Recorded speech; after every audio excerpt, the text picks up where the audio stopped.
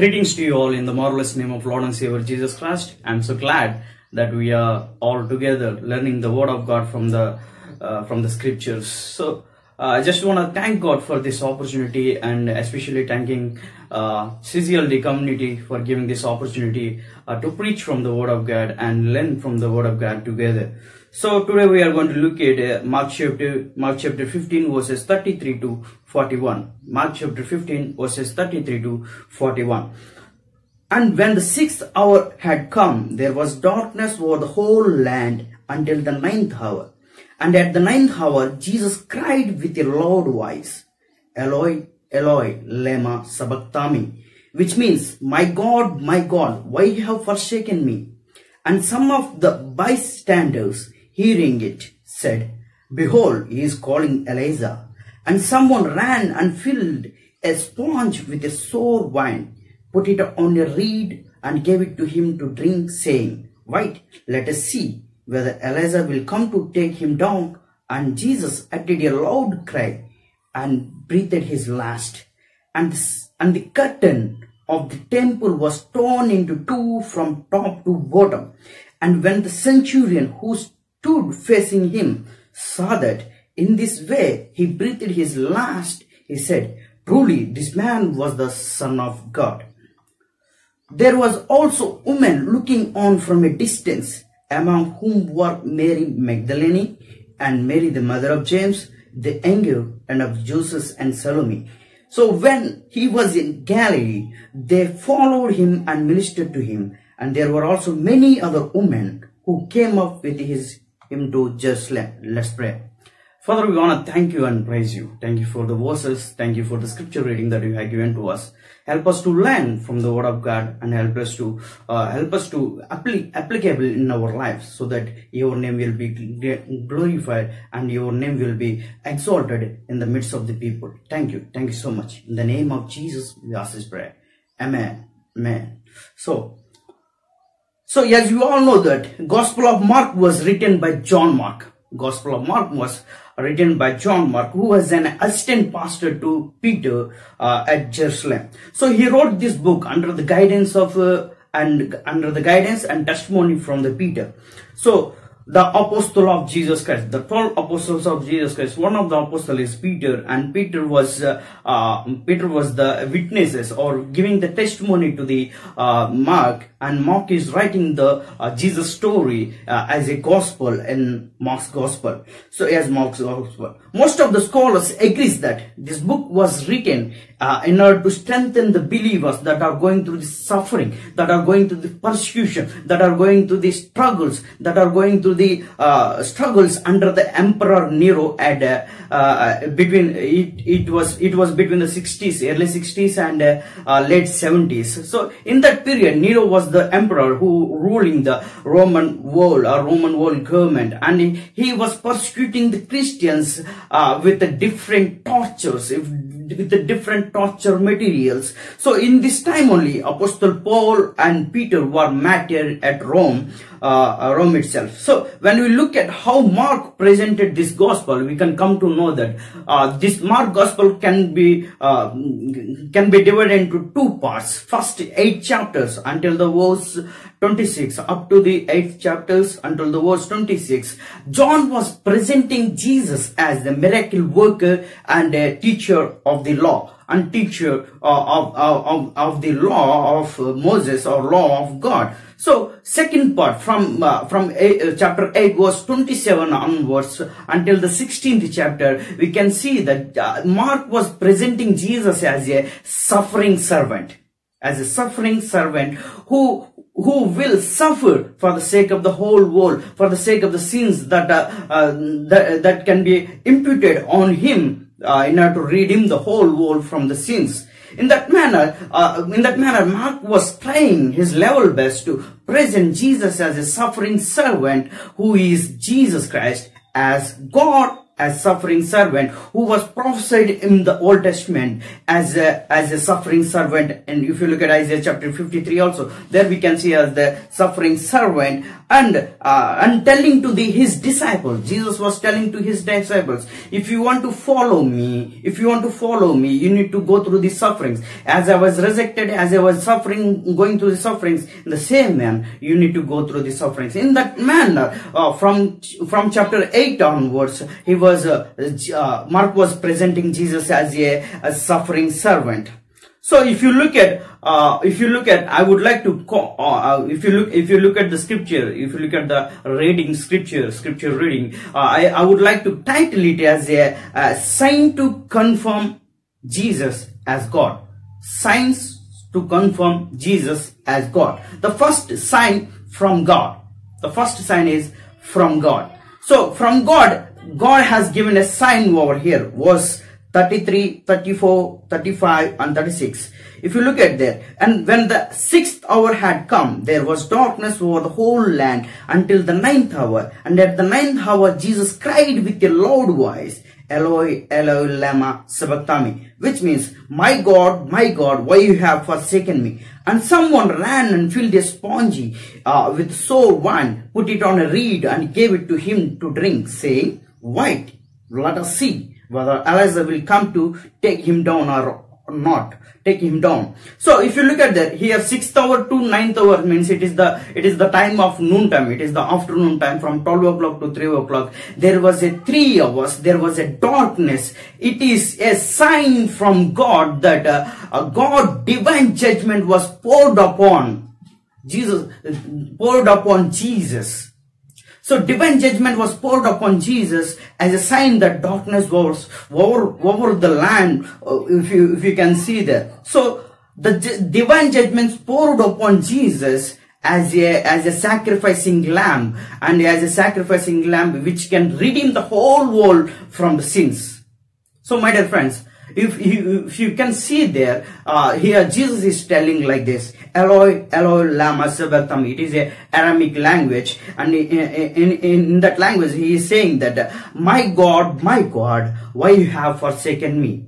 In, in Jesus as a human being, in Jesus as a human being, he was telling to the, he was telling to the Lord that, Lord, why you have forsaken me? As a human being, he was uh, telling, and God shown a sign to the whole world that there was darkness for three hours from 12, 12 o'clock in the afternoon to 3 o'clock in the afternoon. So in that time there was darkness. It means divine judgment was poured upon, uh, poured upon uh, Jesus uh, as a as a punishment for the sins of the whole world and redeem the whole one and reconcile the reconcile the whole world with God. It is a sign from God that Jesus as God who can redeem the whole world to its uh, to its to its uh, creation manner, to its own creation, uh, to its own creation. So my dear friends, uh, if you look at verse 36, it says like this,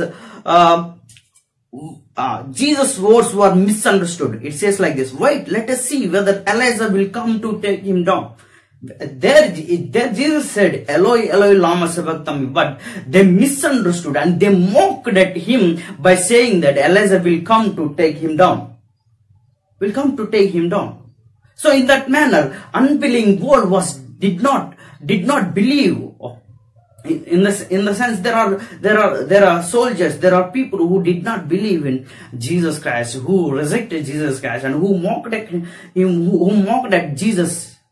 So my dear friends uh, if you look at jesus is uh, we need we need to we need to we need to uh, recognize the sacrifice that god has done in our life. Remember the sacrifice that god has done in our life so recognize that sacrifice. Jesus died on the cross of Calvary for the sake of you and for the sake of me, my dear friends.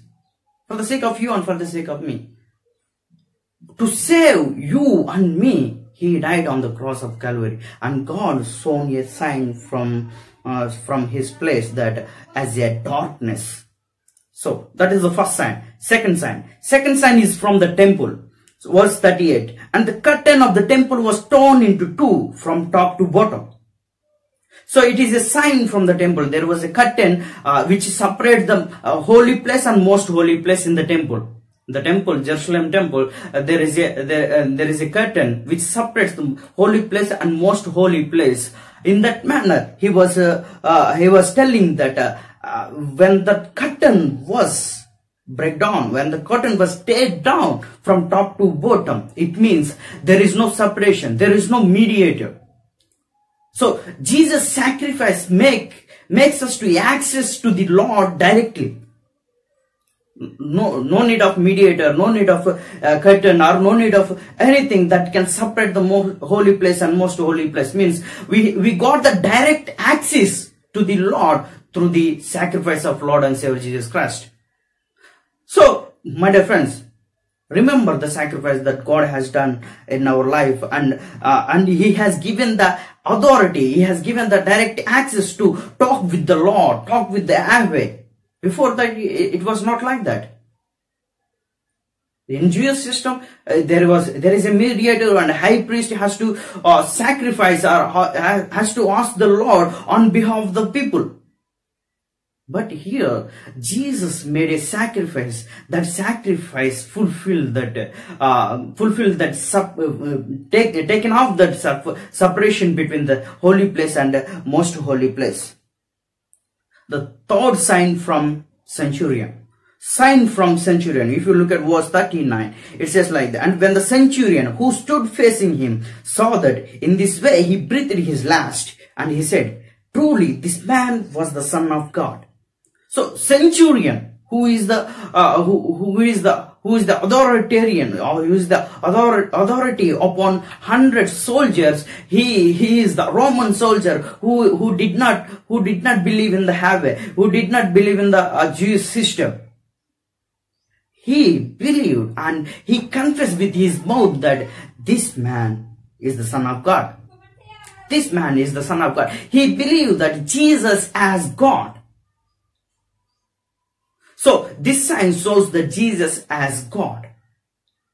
So my dear friends, these three signs, sign from God as, uh, as uh, it, it was a sign, darkness was the sign uh, from God and uh, telling that Jesus is God.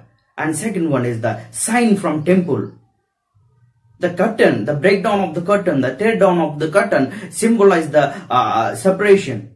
But tear down the tear, tear down, tear, that separation has been taken off and have the direct access through Lord and Savior, Jesus Christ only, to the sacrifice that Jesus done. So, my dear friends, Jesus' sacrifice made us to made us to close to close to God, close to God, and and telling that Jesus as God who can hold them, hold the human, hold the hand of the humanity and hold, hold the hand of God. If you look at Romans chapter 5 verse 1, 1, 1 and 2, it says that there is a peace through sacrifice.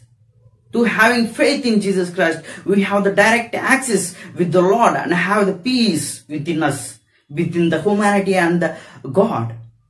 Only through the sacrifice of God so Jesus hold the hand of the humanity and the hand of the God and makes us, uh, makes us because he is God and he is human. In that manner, he is God, he is 100% God and he is 100% human and makes the, make, uh, makes the covenant between the, between the humanity and uh, God himself. So, uh, these were witnesses. These signs were witnessed by, witnessed by some witnesses. Let's look at verse 40 and 41. There were also women looking on from a distance, among whom were Mary Magdalene and Mary, mother of James the younger, and Joseph as Salome. And when he was in Galilee, they followed him and ministered to him. There were also many other women who came up with him to Jerusalem. So all these signs directed that Jesus as God Jesus as God. God himself who came down to redeem the whole world from the sins. Whole world from the, uh, from the bondages of the sins. Recognize the sacrifice that Jesus has done uh, in your life, in, in our life. My dear friend, today is the, today is the time that God is calling you and me to come his throne, to come his feet and ask the forgiveness for the sins that you have done my dear friends let's come together with the uh, with the humble with the humbleness and come to the lord and lord forgive us lord and asking to the Lord that, Lord, forgive us, forgive us. And we, we recognize that, Lord, your sacrifice was done just because of me, just because to save me and you from the, uh, from the sins, of Lord. Let's all, let's all, let's all praise and let's all pray and pray and convict ourselves that, Lord, we are here. We come to know that from from the sign that we have sown, from the sign from the temple, from the sign of the centurion, we come to know that Jesus has God Himself who came down and redeemed the whole humanity from the sins of Lord. Lord, we are admitting ourselves, admitting our sins to you, Lord. Redeem us. Redeem us. Save us from the sins. Save us from the bondages of sins, O Lord. Father, let's pray. Father, we want to thank you and praise you, Lord.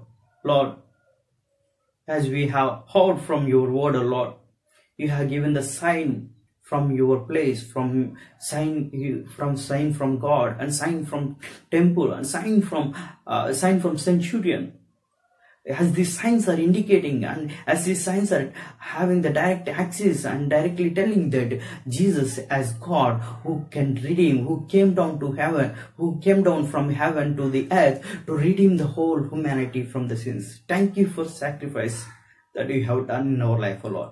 Thank you. Thank you so much. Thank you for speaking to us and uh, molding us and admitting our sins to you and getting the forgiveness from you, Lord. Thank you. Thank you so much. Once again, thank you for your sacrifice that you have done on the cross of Calvary. Thank you. Thank you so much. In the name of Jesus, we ask this prayer. Amen. Amen. Amen. Thank you, friends.